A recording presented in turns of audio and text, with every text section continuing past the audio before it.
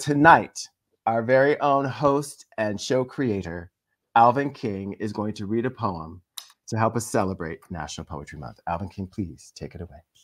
Thank you all. Thank you. First of all, let, let me go ahead and, and set the mood. You know, Vash got me all set up last last week and he set the mood and he brought, you know, he brought his light. So I'm gonna bring, I'm gonna, I'm gonna bring the mood. I'm gonna bring the mood. I'm gonna bring the mm-hmm. mood.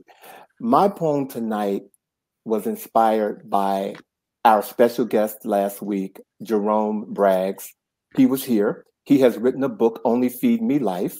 And I told you all to go out and get the book because his work is phenomenal.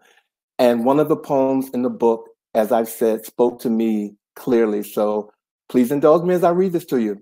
All right? My poem tonight is called If I Can Laugh Today.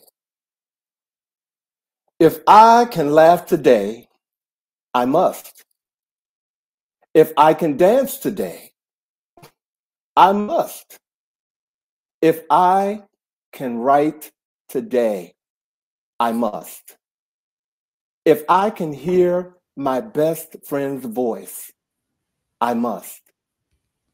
If I can drink hot ginger tea and eat blueberries and soak in a hot bath with jazz softly playing on the surround sound speakers, I must. I will. I must.